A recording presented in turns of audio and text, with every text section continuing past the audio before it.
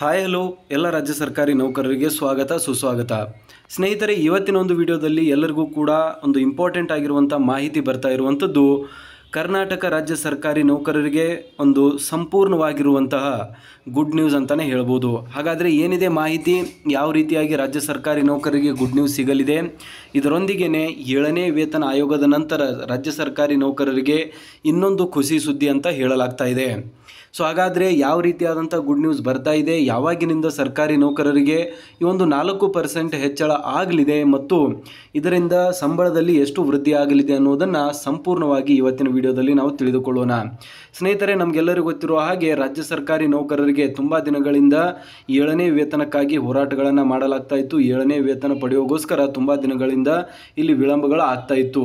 ಆದರೆ ಫೈನಲಿ ಕರ್ನಾಟಕ ರಾಜ್ಯ ಸರ್ಕಾರ ಆಗಸ್ಟ್ ತಿಂಗಳಿನಿಂದ ಅನ್ವಯವಾಗುವಂತೆ ಏಳನೇ ವೇತನ ಆಯೋಗವನ್ನು ಇಂಪ್ಲಿಮೆಂಟ್ ಮಾಡುವಂತೆ ಆದೇಶವನ್ನು ಹೊರಡಿಸಿದೆ. ಇದರಿಂದ ರಾಜ್ಯ ಸರ್ಕಾರಿ ನೌಕರರಿಗೆ ಮೂವತ್ತೊಂದು ಪರ್ಸೆಂಟ್ ತುಟ್ಟಿ ಭತ್ತೆಯನ್ನು ಬೇಸಿಕ್ನೊಂದಿಗೆ ವಿಲೀನ ಮಾಡಲಾಗಿದೆ. ಅದರ ಜೊತೆಗೇ ಇಪ್ಪತ್ತೇಳು ಪಾಯಿಂಟ್ ಐದು ಜೀರೋ ಪರ್ಸೆಂಟರಷ್ಟು ಫಿಟ್ಮೆಂಟನ್ನು ನೀಡೋ ಮುಖಾಂತರ ಟೋಟಲ್ ಆಗಿ ಐವತ್ತೆಂಟು ಪಾಯಿಂಟ್ ಏಳರಷ್ಟು ಸಂಬಳದಲ್ಲಿ ಹೆಚ್ಚಳ ಮಾಡೋದಕ್ಕೆ ದಾರಿ ಮಾಡಿಕೊಟ್ಟಿದೆ ಸೊ, ಏಳನೇ ವೇತನ ಆಯೋಗದ ನಂತರ ತುಂಬಾ ಚೇಂಜಸ್ಗಳು ಆಗಲಿದೆ. ಏನಕ್ಕಂದರೆ, ಇಷ್ಟು ದಿನ ಒಂದು ತುಟ್ಟಿ ಭತ್ತೆಯಲ್ಲಿ ಹೆಚ್ಚಳ ತಂದರೆ ಗ್ರೂಪ್ ಸಿ ಮತ್ತು ಗ್ರೂಪ್ ಡಿ ನೌಕರರಿಗೆ ಅಷ್ಟೇನೂ ಹೆಚ್ಚಿನ ಒಂದು ಅಮೌಂಟ್ ಬರ್ತಾ ಇರಲಿಲ್ಲ.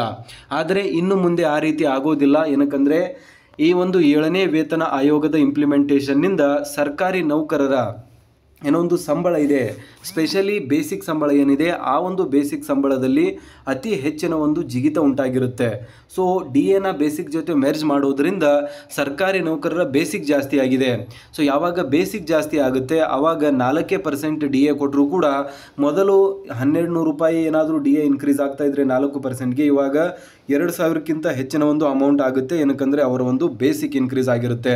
ಸೊ ಹಾಗಾಗಿ ಏಳನೇ ವೇತನ ಆಯೋಗದ ಲಾಭ ಇನಿಷಿಯಲಿ ಅಂದರೆ ಫಿಟ್ಮೆಂಟ್ ವೈಸ್ ತುಂಬಾ ಜಾಸ್ತಿ ಕಾಣದೇ ಇದ್ದರೂ ಕೂಡ ಡಿ ಎ ಮುಖಾಂತರ ಏನು ಏರಿಕೆ ಆಗುತ್ತೆ, ಅದರಲ್ಲಿ ತುಂಬಾ ಗಣನೀಯವಾಗಿರುವಂಥ ಡಿಫ್ರೆನ್ಸ್ ಬರುತ್ತೆ.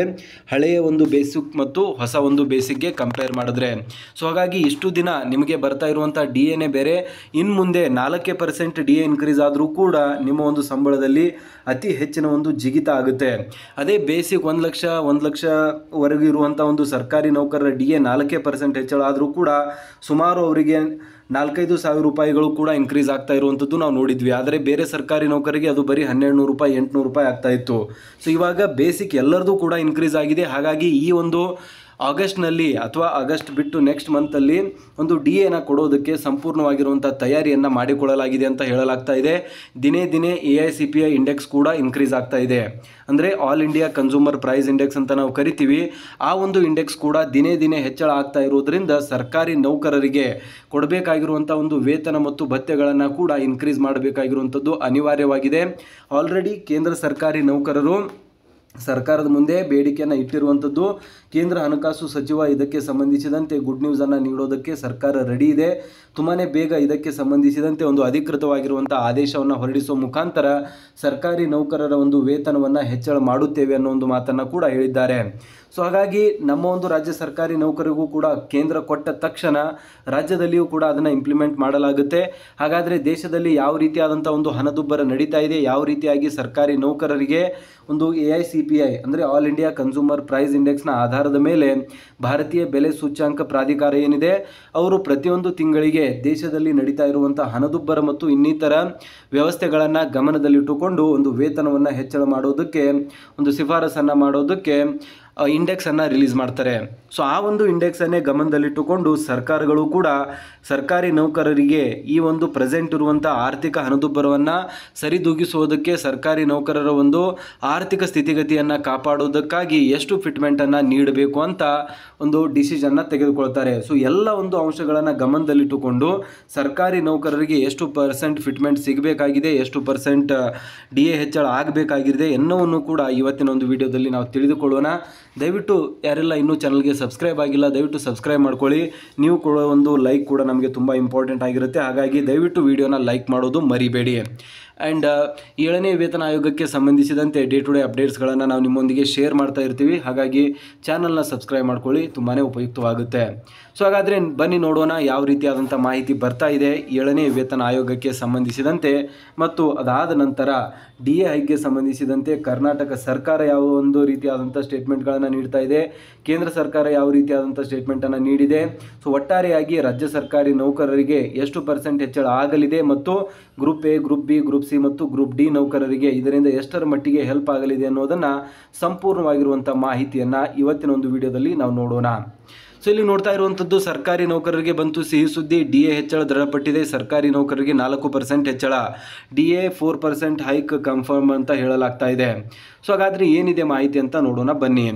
The dearness allowance will increase people are seeing and reading a variety of news about the D A hike on social media and the discussion is accelerating this time we anticipate a D A hike of up to four percent which could potentially lead to a significant salary increase ಅಂತ. So already ನಾನು ಹೇಳಿದ ಹಾಗೆ social media ಮತ್ತು mainstream ಮೀಡಿಯಾದಲ್ಲಿ ಒಂದು D A ಹೈಗೆ ಸಂಬಂಧಿಸಿದಂತೆ ಇವಾಗ ತುಂಬಾ ನ್ಯೂಸ್ಗಳು ಬರ್ತಾ ಇರುವಂಥದ್ದು ಎಲ್ಲ ರಾಜ್ಯ ಸರ್ಕಾರಿ ನೌಕರರು ಕೂಡ ಇದನ್ನು ಡಿಸ್ಕಸ್ ಮಾಡ್ತಾ ಇದ್ದಾರೆ. ಮೀಡಿಯಾ ಹೌಸಸ್ಗಳು ಪ್ರಿಂಟ್ ಮೀಡಿಯಾ ಸೋಷಿಯಲ್ ಮೀಡಿಯಾ ಎಲ್ಲರೂ ಕೂಡ ಏಳನೇ ವೇತನ ಆಯೋಗ ಆಯಿತು. ಇದಾದ ಮೇಲೆ ಇವಾಗ ಸರ್ಕಾರ ಏಳನೇ ವೇತನ ಆಯೋಗದ ನಂತರ ಅತಿ ದೊಡ್ಡ ಸ್ಟೆಪ್ ಅಂತಲೇ ಹೇಳ್ಬೋದು. ಡಿ ಎ ಹೈಕನ್ನು ನೀಡಬೇಕು ಅನ್ನೋದನ್ನು ಕೇಳಲಾಗ್ತಾ ಇದೆ. ಸೊ ಅದಕ್ಕೆ ಸಂಬಂಧಿಸಿದಂತೆ ಇವಾಗ ಒಂದು ಸಿ ಎಸ್ ಷಡಕ್ಷರಿ ಅವರು ಸದ್ಯದಲ್ಲೇ ಮಹಾ ಒಂದು ಸಭೆಯನ್ನು ಕೂಡ ಕರೆದಿದ್ದಾರೆ. ಅದರಲ್ಲಿ ಒ ಪಿ ಎಸ್ ಬಗ್ಗೆಯೂ ಕೂಡ ಚಿಂತನೆ ಮಾಡಲಾಗ್ತಾ ಇದೆ. ಒಂದು ಮೆಡಿಕಲ್ ವ್ಯವಸ್ಥೆ ಬಗ್ಗೆ ಕೂಡ ಚಿಂತನೆ ಮಾಡಲಾಗ್ತಾ ಇದೆ. ಅದ್ರ ಜೊತೆಗೇ ಡಿ ಹೈಕ್ ಬಗ್ಗೆಯೂ ಕೂಡ ಸಿದ್ದರಾಮಯ್ಯನವರು ಆಲ್ರೆಡಿ ಹೇಳಿದ್ದಾರೆ. ಯಾವಾಗ ಕೇಂದ್ರ ಸರ್ಕಾರ ಡಿ ಹೈಕ್ ನೀಡುತ್ತೆ ಅದೇ ಒಂದು ದಿನ ರಾಜ್ಯ ಸರ್ಕಾರ ಕೂಡ ನೀಡುವಂಥದ್ದು. ಅದರಲ್ಲಿ ಯಾವುದೇ ರೀತಿಯಾದಂಥ ಡೇ, ಡೇಟ್ ಮತ್ತು ಮುಂದೆ ಓಡಿಸುವಂಥ ಒಂದು ಕೆಲಸವೇ ಇಲ್ಲ ಅಂತ ಹೇಳಿದ್ದಾರೆ. ಸೊ, ಹಿಂದೆ ಕೂಡ ಆಲ್ರೆಡಿ ಸಿ ಎಂ ಸಿದ್ದರಾಮಯ್ಯನವರು ಸಿ ಎಂ ಆದಮೇಲೆ ಬೇಸಿಕಲಿ ಎರಡು ಬಾರಿ ಡಿ ಹೈಕನ್ನು ಮಾಡಿದ್ದಾರೆ. ಕೇಂದ್ರ ಸರ್ಕಾರ ಮಾಡಿದ ತಕ್ಷಣ ಎರಡೇ ದಿನಗಳಲ್ಲಿ ಅವರು ಕೂಡ ಅಫಿಷಿಯಲ್ ಆಗಿರುವಂಥ ಆರ್ಡರನ್ನು ಹೊರಡಿಸುವ ಮುಖಾಂತರ zero point two seven two ರೇಷೋದಲ್ಲಿ ಸರ್ಕಾರಿ ನೌಕರರಿಗೆ ಒಂದು ಡಿ ಎ ಹೈಕ್ ಮಾಡುವಂಥ ಒಂದು ಕೆಲಸವನ್ನು ಕೂಡ ಪ್ರೀವಿಯಸ್ ಆಗಿ ಮಾಡಿರುವಂಥದ್ದು ನೋಡಿದ್ದೀವಿ ಏನಕ್ಕಂದರೆ ಲಾಸ್ಟ್ ಟೈಮ್ ಜನವರಿಯ ಒಂದು ಡಿ ಎ ಹೈಕ್ ಕೇಂದ್ರ ಸರ್ಕಾರ ಸುಮಾರು ನಾಲ್ಕು ಪರ್ಸೆಂಟ್ ನೀಡುತ್ತೆ.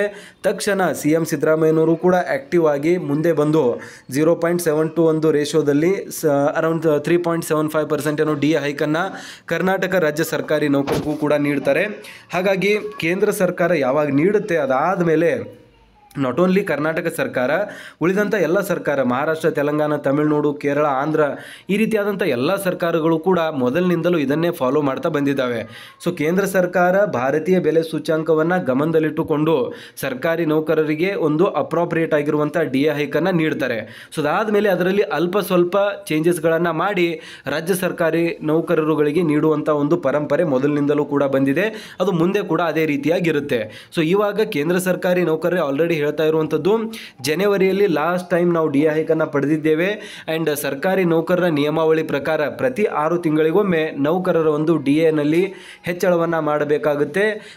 ಏನು ಆರು ತಿಂಗಳಲ್ಲಿ ಸರಾಸರಿ A I C P I index all India consumer price index ಏನಿದೆ, ಅದರ ಒಂದು ಆಧಾರದ ಮೇಲೆ ಅಂತ.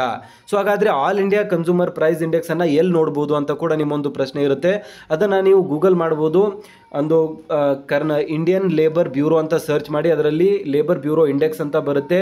A I C P I index ಅಂತ ಕೂಡ ತೋರಿಸ್ತಾರೆ. ಇನ್ನೊಂದು ವಿಡಿಯೋದಲ್ಲಿ ನಾವು ಅದನ್ನು ತೋರಿಸ್ತೀವಿ ನಿಮಗೆ. ಯಾವ ರೀತಿಯಾಗಿ ಕಾಣಿಸುತ್ತೆ A I C P I index ಪ್ರತಿಯೊಂದು ತಿಂಗಳಿಗೆ ಒಂದು A I C P I N ಇಂಡೆಕ್ಸನ್ನು release ಮಾಡಲಾಗುತ್ತೆ. ಅಂದರೆ ಜನವರಿಗೆ ಇಷ್ಟು ಒನ್ ತರ್ಟಿ ಇದೆ. ಫೆಬ್ರವರಿಯಲ್ಲಿ ಒನ್ ತರ್ಟಿ ಟು ಆಗಿದೆ. ಮಾರ್ಚಲ್ಲಿ ಒನ್ ತರ್ಟಿ ತ್ರೀ ಆಗಿದೆ. ಸೊ ಈ ರೀತಿಯಾಗಿ ಒಂದು ಹನ್ನೆರಡು ತಿಂಗಳಿಗೆ ಹನ್ನೆರಡು ಇಂಡೆಕ್ಸಸ್ಗಳನ್ನು ಅವರು ರಿಲೀಸ್ ಮಾಡ್ತಾ ಹೋಗ್ತಾರೆ.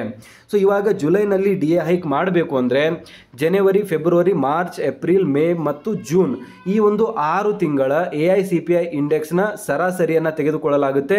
ಆ ಒಂದು ಸರಾಸರಿಯಲ್ಲಿ ಎಷ್ಟು ಹೆಚ್ಚಳ ಆಗಿದೆ, ಕಳೆದ ಒಂದು ಸರಾಸರಿಗೆ ಕಂಪೇರ್ ಮಾಡಿದ್ರೆ ಅಂತ ಮೊಟ್ಟ ಮೊದಲನೇದಾಗಿ ಅದನ್ನು ಲೆಕ್ಕ ಹಾಕಲಾಗುತ್ತೆ. ಸೊ ಅದಾದ ನಂತರ ಸರ್ಕಾರಿ ನೌಕರರಿಗೆ ಎಷ್ಟು ಡಿ ಹೈಕ್ ನೀಡಬೇಕು ಅನ್ನೋದನ್ನು ಸರ್ಕಾರ ಡಿಸೈಡ್ ಮಾಡುತ್ತೆ. ಸೊ ಹಾಗಾಗಿ ಸರ್ಕಾರಿ ನೌಕರರಿಗೆ ಏಳನೇ ವೇತನ ಆಯೋಗದ ಅಡಿಯಲ್ಲಿ ಏನು ಡಿ ಎನ ಮ್ಯಾರೇಜ್ ಮಾಡಿದ ನಂತರ ಬರೀ ಎಂಟು ಪಾಯಿಂಟ್ ಐದು ಪರ್ಸೆಂಟ್ ಡಿ ಎ ಮಾತ್ರ ಇವಾಗ ಇವಾಗ ಕರ್ನಾಟಕ ರಾಜ್ಯ ಸರ್ಕಾರಿ ನೌಕರಿಗೆ ಉಳಿದಿದೆ. ಏನಕ್ಕಂದರೆ ಮೂವತ್ತೊಂದು ಪರ್ಸೆಂಟ್ ಆಲ್ರೆಡಿ ಮ್ಯಾರೇಜ್ ಮಾಡಿದ್ದಾರೆ. ಸೊ ಇವಾಗ ಬೇಸಿಕ್ ಇನ್ಕ್ರೀಸ್ ಆಗಿದೆ. ಅದರ ಮೇಲೆ ನಾಲ್ಕು ಪರ್ಸೆಂಟ್ ಏನಾದರೂ ಸಿಕ್ಕರೆ ಸರ್ಕಾರಿ ನೌಕರರ ಸಂಬಳದಲ್ಲಿ ಭರ್ಜರಿ ಆಗಿರುವಂಥ ಏರಿಕೆ ಆಗುವುದಂತೂ ಖಚಿತ. ಆ್ಯಂಡ್ ನಾಲ್ಕು ಪರ್ಸೆಂಟ್ ಈ ಒಂದು A I C P I index ಯಾವ ರೀತಿಯಾಗಿ ಇನ್ಕ್ರೀಸ್ ಆಗ್ತಾ ಇದೆ ಅದನ್ನು ನೋಡಿದ್ರೆ ಸಿಗುವಂಥದ್ದು ಕೂಡ ಖಚಿತವಾಗಿದೆ. ಸೊ ಇನ್ನು ಆ್ಯಕ್ಚುಯಲ್ ಆಗಿರುವಂಥ ಡೇಟ್ಸ್ಗಳು ಬರುವಂಥದ್ದು ಮಾತ್ರ ಬಾಕಿ ಇದೆ. ಅದು ಇಂದು ನಾಳೆ ಅನ್ನೋ ಒಂದು ರೀತಿಯಲ್ಲಿ ಸರ್ಕಾರ ಇವಾಗ ಹೊರಡಿಸುತ್ತೆ. ಸೊ ಇಲ್ಲಿ ನೋಡ್ತಾ ಇದ್ದೀರಾ about one crore families will benefit from the D A hike ಅಂತ. ಸುಮಾರು ಒಂದು ಕೋಟಿ ಫ್ಯಾಮಿಲೀಸ್ಗಳಿಗೆ ಈ ಒಂದು ಡಿ ಎ ಹೈಕ್ನಿಂದ ಹೆಲ್ಪ್ ಆಗಲಿದೆ ಅಂತ ಕೂಡ ಹೇಳಲಾಗ್ತಾ ಇದೆ. So you must be wondering when the government will announce the D A hike ಅಂತ. ಸೊ ನಮ್ಮೆಲ್ಲರೂ ಒಂದು ಪ್ರಶ್ನೆ ಇರುತ್ತೆ, ಯಾವಾಗ ಸರ್ಕಾರ ಈ ಒಂದು ಡಿ ಎ ಹೈಕನ್ನು ಅನೌನ್ಸ್ ಮಾಡುತ್ತೆ ಅಂತ. Actually the Modi government can announce the D A hike by the first week of September ಅಂತ ಹೇಳಲಾಗ್ತಾ ಇದೆ. ಸೊ ಇವಾಗ ಆಗಸ್ಟ್ ಮುಗಿತಾ ಬಂತು. ಸೊ ಆಗಸ್ಟ್ ಆಲ್ಮೋಸ್ಟ್ ಮುಗಿದಿದೆ ಇವಾಗ ಇನ್ನೊಂದು ಹತ್ತು ದಿನ ಮಾತ್ರ. ಸೊ ಇದಾದ ಮೇಲೆ ನೆಕ್ಸ್ಟ್ ತಿಂಗಳ, ಅಂದರೆ ಸೆಪ್ಟೆಂಬರ್ ತಿಂಗಳ ಮೊಟ್ಟ ಮೊದಲನೇ ವಾರದಲ್ಲಿಯೇ ಸರ್ಕಾರಿ ನೌಕರರಿಗೆ ಡಿ ಎ ಹೈಕನ್ನು ಮಾಡೋದಕ್ಕೆ ಮೋದಿ ಸರ್ಕಾರ ಸಂಪೂರ್ಣವಾಗಿರುವಂಥ ಸಿದ್ಧತೆ ನಡೆಸಿದೆ ಅಂತ ಹೇಳಲಾಗ್ತಾ ಇದೆ. Instil a sense of enthusiasm in everyone serving as the welcome boost ಅಂತ employees will no longer receive D arrears of eighteen months this is a significant setback for employee organisations because they have been demanding it for a long time ಅಂತ so basically ಹದಿನೆಂಟು ತಿಂಗಳ D ಎನ ಇನ್ನೂ ಏನು confirm ಮಾಡ್ತಾ ಇಲ್ಲ ಅವರು. ಆದರೆ, ಏನು ಡಿ ಎ ಹೈಕ್ ಬರಬೇಕಾಗಿದೆ? ಆ ಒಂದು ಡಿ ಎ ಹೈಕನ್ನು ಇಲ್ಲಿ ನೀಡೋದಕ್ಕೆ ಸರ್ಕಾರ ಸಿದ್ಧ ಆಗ್ತಾ ಇದೆ ಅಂತ ಹೇಳ್ತಿದ್ದಾರೆ. Central employees will see a four percent increase in their dearness allowance and uh, following this increase the dearance allowance da will rise to 54% resulting in a significant increase in the salary in the current circumstances employees are taking advantage of 50% da the 4% increase in da rates will take effect from july 1 ಅಂತ already ಐವತ್ತು percent D ಎನ ಕೇಂದ್ರ ಸರ್ಕಾರಿ ನೌಕರರು ಪಡಿತಾ ಇದ್ದಾರೆ ಇನ್ನು ನಾಲ್ಕು ಪರ್ಸೆಂಟ್ ಹೆಚ್ಚಳ ಆದರೆ ಅವರು ಐವತ್ನಾಲ್ಕು ಪರ್ಸೆಂಟ್ ಆಗುತ್ತೆ ಆ್ಯಂಡ್ ಇದನ್ನು ಸೆಪ್ಟೆಂಬರ್ನಿಂದ ಇಂಪ್ಲಿಮೆಂಟ್ ಮಾಡೋದಿಲ್ಲ ಆಲ್ರೆಡಿ ನೀವು ಹಿಂದೆ ಕೂಡ ನೋಡಿದ್ದೀರಾ ಯಾವಾಗಿನಿಂದ ಇಂಪ್ಲಿಮೆಂಟ್ ಆಗುತ್ತೆ ಅಂತ ಅದು ಜುಲೈ ಒಂದರಿಂದಲೇ ಇಂಪ್ಲಿಮೆಂಟ್ ಮಾಡ್ತಾರೆ. ಜುಲೈ ಮತ್ತು ಆಗಸ್ಟ್ ಈ ಎರಡು ತಿಂಗಳ ಅರಿಯರ್ಸನ್ನು ರಾಜ್ಯ ಸರ್ಕಾರಿ ನೌಕರರ ಒಂದು ಅಕೌಂಟ್ಗೆ ಕ್ಯಾಶ್ ರೂಪದಲ್ಲಿ ಕ್ರೆಡಿಟ್ ಮಾಡುವಂಥದ್ದು ಹಿಂದೆ ಕೂಡ ನಾವು ನೋಡಿದ್ದೀವಿ. ಅಂದರೆ ಕ್ಯಾಶ್ ರೂಪದಲ್ಲಿ ಸರ್ಕಾರಿ ನೌಕರರ ಅಕೌಂಟ್ಗೆ ಈ ಒಂದು ಹಣವನ್ನು ನೀಡಲಾಗುತ್ತೆ, ಹಣವನ್ನು ಕಳಿಸಲಾಗುತ್ತೆ. ಸೊ ಅದು ಕೂಡ ನಾವು ಆಲ್ರೆಡಿ ನೋಡಿರುವಂಥದ್ದು. ಹಿಂದೆ ಕೂಡ ಜನವರಿಯಲ್ಲಿ ಇಂಪ್ಲಿಮೆಂಟ್ ಮಾಡುವಾಗ ಅದು ಜನವರಿಯಲ್ಲಿ ಆಗಿರಲಿಲ್ಲ. ಜನವರಿ, ಫೆಬ್ರವರಿ ಮಿಸ್ ಆಗಿ ಮಾರ್ಚ್ನಲ್ಲಾಯಿತು ಆದರೆ ಜನವರಿ ಮತ್ತು ಫೆಬ್ರವರಿಯಲ್ಲಿ ಬರಬೇಕಾಗಿರುವಂಥ ಹಣವನ್ನು ಕ್ಯಾಶ್ ರೂಪದಲ್ಲಿ ಸರ್ಕಾರಿ ನೌಕರರ ಅಕೌಂಟ್ಗೆ ಟ್ರಾನ್ಸ್ಫರ್ ಮಾಡುವಂಥ ಒಂದು ಕೆಲಸವನ್ನು ಕೂಡ ಮಾಡಲಾಗಿತ್ತು. ಅದೇ ಒಂದು ರೀತಿಯಲ್ಲಿ ಇವಾಗ ಸೆಪ್ಟೆಂಬರ್ನಲ್ಲಿಯೂ ಕೂಡ ಇದು ಇಂಪ್ಲಿಮೆಂಟ್ ಆದರೂ ರಾಜ್ಯ ಸರ್ಕಾರಿ ನೌಕರರಿಗೆ ಜುಲೈನ ಅರಿಯರ್ಸ್ ಕೂಡ ಅಕೌಂಟ್ಗೆ ಹಾಕ್ತಾರೆ. ಆ್ಯಂಡ್ ಇವಾಗ ನಡೀತಾ ಇರುವಂಥ ಆಗಸ್ಟ್ನ ಅರಿಯರ್ಸನ್ನು ಕೂಡ ಸರ್ಕಾರಿ ನೌಕರರ ಅಕೌಂಟ್ಗೆ ಹಾಕುವಂಥ ಒಂದು ಕೆಲಸವನ್ನು ಇಲ್ಲಿ ಸರ್ಕಾರ ಮಾಡಲಿದೆ ಅಂತ ಹೇಳ್ತಿದ್ದಾರೆ. ಅದ್ರ ಜೊತೆಗೇನೆ ಒಂದು ಕೇಂದ್ರ ಸರ್ಕಾರಿ ನೌಕರರ ಡಿ ಐವತ್ನಾಲ್ಕು ಪರ್ಸೆಂಟ್ಗೆ ತಲುಪಿದ್ರೆ ನಮ್ಮ ಒಂದು ರಾಜ್ಯ ಸರ್ಕಾರಿ ನೌಕರದು ಎಂಟು ಪಾಯಿಂಟ್ ಐದು ಪರ್ಸೆಂಟ್ ಇದೆ. ಅದಕ್ಕೆ ಇನ್ನೂ ಪ್ಲಸ್ ನಾಲ್ಕು ಪರ್ಸೆಂಟ್ ಮಾಡಿದ್ರೆ ಎಂಟು ಎರಡು, ಹತ್ತು, ಎರಡು, ಹನ್ನೆರಡು, ಹದಿಮೂರು ಪರ್ಸೆಂಟ್ವರೆಗೂ ಕೂಡ ಇಲ್ಲಿ ರಾಜ್ಯ ಸರ್ಕಾರಿ ನೌಕರರ ಒಂದು ಡಿ ಎ ತಲುಪುವಂಥ ಚಾನ್ಸಸ್ ಇದೆ. ರೌಂಡ್ ಫಿಗರ್ ನಾನು ಹೇಳ್ತಾ ಇರುವಂಥದ್ದು ಸ್ವಲ್ಪ ಹೆಚ್ಚು ಕಡಿಮೆ ಆಗುತ್ತೆ. ಸೊ ಹಾಗಾಗಿ ರಾಜ್ಯ ಸರ್ಕಾರಿ ನೌಕರರಿಗೆ ತುಂಬಾ ಹೆಚ್ಚಿನ ಒಂದು ಬೆನಿಫಿಟ್ಸ್ಗಳು ಇಲ್ಲಿ ಆಗಲಿದೆ ಅಂತಲೇ ಹೇಳ್ಬೋದು. ಸೊ ಇದು ದ ಫೋರ್ ಪರ್ಸೆಂಟ್ ಹೈಕ್ ಆಗೋದ್ರ ಬಗ್ಗೆ ಸಂಪೂರ್ಣವಾಗಿರುವಂಥ ಮಾಹಿತಿ ಇಲ್ಲಿ ಬರ್ತಾ ಇರುವಂಥದ್ದು.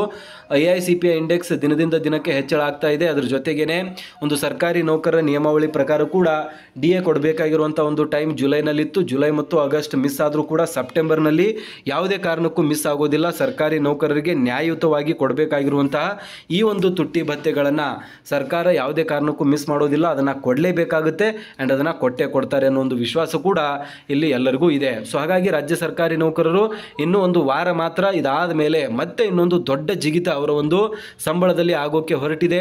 ಸೊ ದಯವಿಟ್ಟು ಎಲ್ಲರೂ ಕೂಡ ಈ ಒಂದು ವಿಡಿಯೋನ ಲೈಕ್ ಮಾಡಿ, ಎಲ್ಲರ ಜೊತೆ ಶೇರ್ ಮಾಡಿ. ಇನ್ನೂ ಚಾನಲ್ಗೆ ಸಬ್ಸ್ಕ್ರೈಬ್ ಆಗಿಲ್ಲ ಅಂದರೆ ದಯವಿಟ್ಟು ಸಬ್ಸ್ಕ್ರೈಬ್ ಮಾಡ್ಕೊಳ್ಳಿ. ಸರ್ಕಾರಿ ನೌಕರರಿಗೆ ಉಪಯುಕ್ತವಾಗಿರುವಂಥ ಮಾಹಿತಿಯನ್ನು ನಾವು ಡೇ ಟು ಡೇ ಕೊಡ್ತಾ ಇರ್ತೀವಿ. ಅದ್ರ ಜೊತೆಗೇನೆ ನೆಕ್ಸ್ಟ್ ವಿಡಿಯೋದಲ್ಲಿ ನೀವು ಕಮೆಂಟ್ ಮಾಡಿದ್ರೆ ನಾವು A I C P I index ಏನಿದೆ, ಅದು ಯಾವ ರೀತಿ ಕಾಣಿಸುತ್ತೆ ಲೇಬರ್ ಬ್ಯೂರೋ ಇಂಡೆಕ್ಸ್ ಯಾವ ರೀತಿಯಾಗಿ ಇರುತ್ತೆ, ಒಂದು ಕರ್ನಾಟಕ, ಭಾರತೀಯ ಬೆಲೆ ಸೂಚ್ಯಾಂಕ ಯಾವ ರೀತಿಯಾಗಿ ಪ್ರಾಧಿಕಾರ ಅದನ್ನು ರಿಲೀಸ್ ಮಾಡುತ್ತೆ, ಅದರಲ್ಲಿ ಯಾವ ರೀತಿಯಾಗಿ ಹೆಚ್ಚಳಗಳು ಆಗ್ತಾ ಇರುತ್ತೆ, ಕಡಿಮೆ ಆಗ್ತಾ ಇರುತ್ತೆ ಸೊ ಅದು ಹಣದುಬ್ಬರವನ್ನು ಯಾವ ರೀತಿಯಾಗಿ ಸೂಚಿಸುತ್ತೆ ಅನ್ನೋದನ್ನು ಒಂದು ನೆಕ್ಸ್ಟ್ ವಿಡಿಯೋದಲ್ಲಿ ಕಂಪ್ಲೀಟ್ ಆಗಿರುವಂಥ ಒಂದು ಡೀಟೇಲ್ಡ್ ವಿಡಿಯೋನ ಕೂಡ ಮಾಡ್ತೀವಿ. ಸೊ ದಯವಿಟ್ಟು ನಿಮ್ಮ ಒಂದು ಅಮೂಲ್ಯವಾಗಿರುವಂಥ ಕಮೆಂಟನ್ನು ಮಾಡಿ ಆ್ಯಂಡ್ ವಿಡಿಯೋನ ಲೈಕ್ ಮಾಡಿ.